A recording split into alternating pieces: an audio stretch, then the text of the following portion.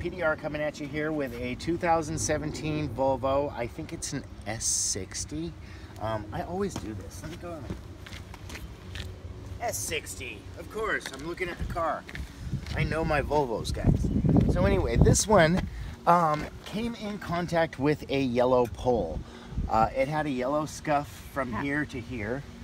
Oh, my hat. Let me turn my hat around so you guys can see me as we inspect this dent a little bit. It doesn't look that severe, but it actually is a minor collision, um, meaning this vehicle hit a pole, so the weight of, you know, 1,500 pounds barely bumped in and then stopped. So um, I took, I had a little yellow scuff up here. You still see a little residual of it. I've got my Perfect-It out and uh, meditation music going on. And we're just gonna start off by prepping this surface, cleaning it up a little, hitting it up with the Perfect-It.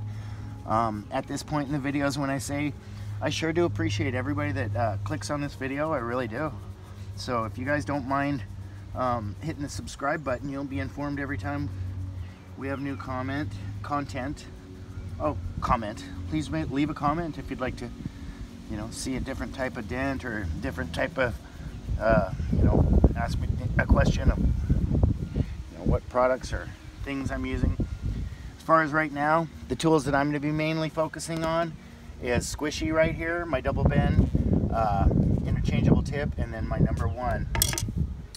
Uh, I'm just going to access through here. I haven't even gotten any access yet, but since it's a Volvo, I know that we basically only have this one screw and then a couple of the little inner uh, flanges. They're not even clips. They just hold themselves underneath this lip.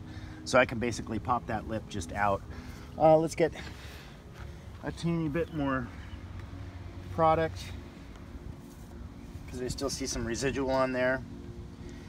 And uh, the product that I'm using is Perfect-It 3M product, and it's uh, that's the stock number on it. But I basically use this on every job, even if it's a you know perfectly nice surface.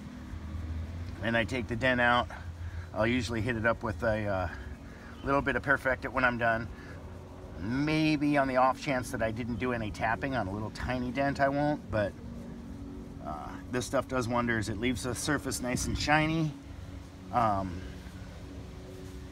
and doesn't leave any scratch marks in the paint but there is one step higher that's called Finesse-It and that's just for the swirl marks in case you're using a actual buffer so we're keeping you in for the prep work part of this. Now let's just show you my access. What I'm gonna do is go like this, put my tool right up against the side of that plastic, and then right in there. And you see those little flanges? That's only two years worth of dirt, because it's 17. But see that little flange I just popped it out from? There's another one right here, there. And there might be another one down here. There we go. So basically, boom, I could get my little wedge and hold this open, or I could just go one more, hmm, maybe another one back here, and then just kind of uh, push this back. And honestly, feeling in here, I am, I can get up to right here, and then there's foam. So what we're gonna be doing, guys, is most likely not using, let's see how much room I have. Okay, so there's a, space this wide with this much foam in it that goes out this far. It's for sound deadening to keep this panel from shaking and, and it probably uh, made this dent less severe. But that just means that I can't get my nice thick tool all the way back and all around it. I'm gonna have to slide in with something like this behind that foam and then do a twisty like that. So let me show you what I'm talking about. I'm gonna have to sneak in. Now I'm going up to the top up here just to show you where I'm at. And I'm gonna have to sneak in and then make some really light pulls. And if you see what I'm doing with my hand here, I'm coming in, finding my tip there, and making some light pulls towards myself. And just bringing that metal out super, super slowly. I'm not making any severe pushes at all. These pushes are probably a pound and a half, two pounds of pressure, but they're right in the right spot And like I say, I got this little piece of foam behind me. So I've only worked on the very top inch and gotten it to about 60%. And we're gonna have to work a 12 inch long dent to, uh, you know, as good as we can, which I always say 95 to 98%, or 95 to 99% or something like that, if I can get it as close to perfect as possible. Now I'm kind of down in the middle. I'm just checking the tension of this metal a little bit, looking for the right angle. Um, it is extremely tight in there. But since I'm right here, I'm just gonna baby up this little low valley right here and keep you guys in for some of the some of the main work. I'm right behind that scratch. I'm right behind this little seven shaped scratch. And it's the scratch does make it tough to see, so I'm making very slow, very slight, very delicate pushes. I do appreciate you guys sticking with us for this one. We haven't made a video in about a week, week and a half. And it's always good to be making a video. Um, thank you to all the new family members that have subbed lately. We sure appreciate you. Now here we go guys, because the key to this is getting it out obviously with no push marks, no cracked paint. I'm going to spend about 45 minutes working this area. We might do some speedies. We might, uh, you know, show you how it goes. sounds like we got a little bit of noise coming in, but uh, in the meantime, I'm just going to keep on working on this. We'll come back and show you either the end result or, you know, more progress here in just a bit.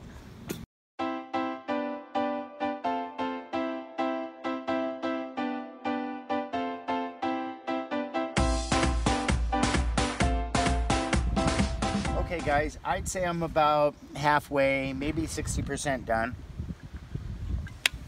Sip of the coffee there. Um, we've got a really fine angle on it. It still starts here and ends about here, but we're obviously a lot slighter. A lot of that scuff came out. I did stick squishy in there and I'm just going up against this foam. It's not like a uh, strong foam. It's just kind of like a, a sound dampener, but it's not super strong. So like I'll be down here in this area with the side of the tip actually right down there. And I'm just kind of jamming it into that stuff and giving it nice little turns.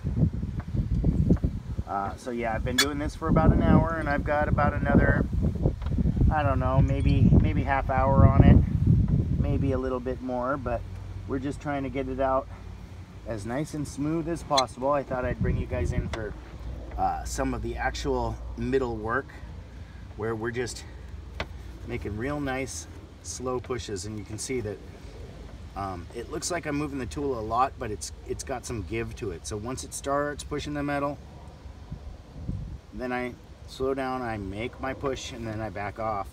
Um, it's just one of those dents that has a lot of area to move so uh, we can't really take it fast we just got to take it slow and just do what the metal will allow.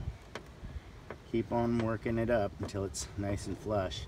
This little area is getting a little tight, so I'm gonna move around and get some other areas. But I know it's getting hard for you guys to see. Um, when it gets hard for me to see, then I know I'm making some real progress. I'm just coming in and cleaning up all these lows.